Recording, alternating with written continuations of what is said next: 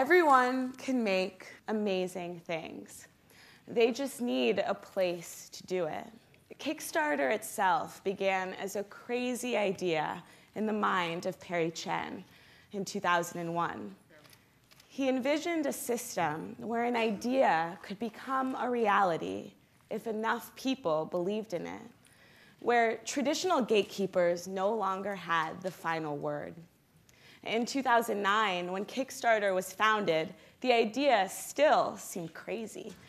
Would people really come together online to bring creative projects to life? The answer is yes.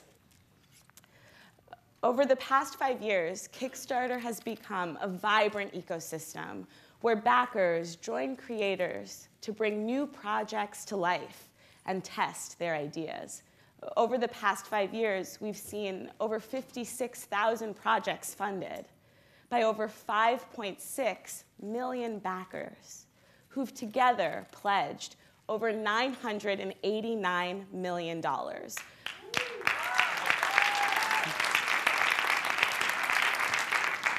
In other words, the price of about 439 million New York City subway rides.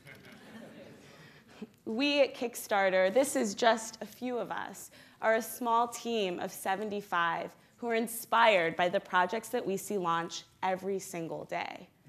We've learned that people are incredible and that ideas have the potential to change the world. Kickstarter is a place where creative projects come to life where people come together to make it happen, and where the whole world can follow in the creation of something new. So let's take a look at a few projects. Sometimes projects are a response to a problem. Um, frustrated by the fact that 89% of engineers are male, Debbie created GoldieBlox, which is a construction set and toy combined, and sought to inspire a whole new generation of engineers. With over 5,000 backers, GoldieBlox became a reality. They were so popular that they even had an ad during the Super Bowl a couple months ago, and you can buy the toy in Toys R Us. Sometimes projects expand our imaginations. The Oculus Rift really blurred the line between fantasy and reality designer Palmer realized that there wasn't an immersive virtual reality headset for gaming. So, with over 9,000 backers, he created one. This is a few of us at Kickstarter experimenting, that's me, um, with the Oculus. If you haven't tried it, you really should. Um, it's incredible. um, we've seen really ambitious projects come to Kickstarter in stages over the course of multiple campaigns.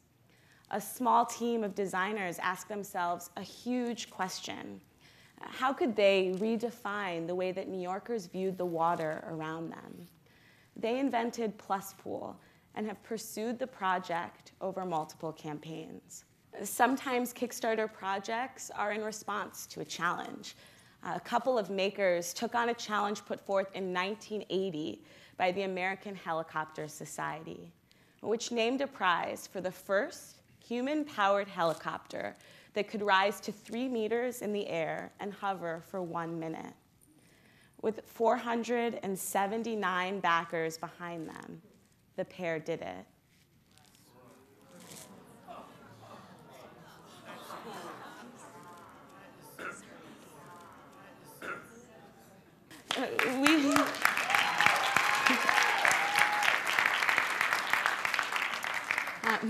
We've had projects that are bigger than life here on Earth. Um, the ArduSat combined an open source electronics platform with space exploration, and for the first time gave the public access to their own space experiments. This is a photo of the ArduSat that was taken from the International Space Station. So I've talked about a lot of huge projects, but most projects on Kickstarter are really made by people like you and me. Most projects raise between $1,000 and $10,000. One of those projects was by a girl named Emily, one of the earliest projects on the site. she invited us to sail around the world with her and kept in touch with backers by making videos, exchanging phone calls as she crossed the equator, and even sending postcards back home. Students in Bertie County taught us if you can dream it, you can build it. In response to the space constraints of their school, students designed their own solution and built classrooms out of shipping containers. The artist Swoon, where many saw New Orleans, a city that had been ravaged by Hurricane Katrina, she saw the possibility for music. With 357 backers, a building became an instrument. It's now a permanent monument to sound.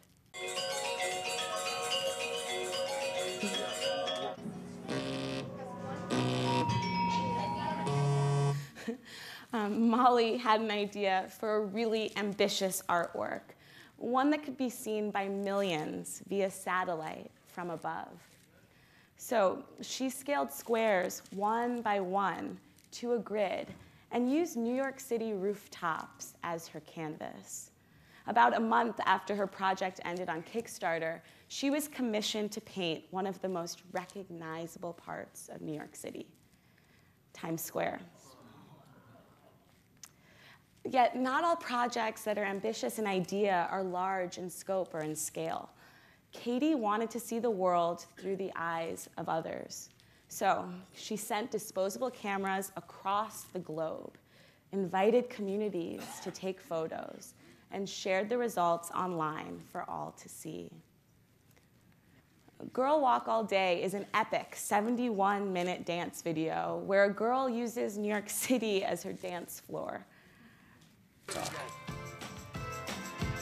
My dream would be being able to dance wherever the hell I want and making other people feel like it's okay for them to do that too.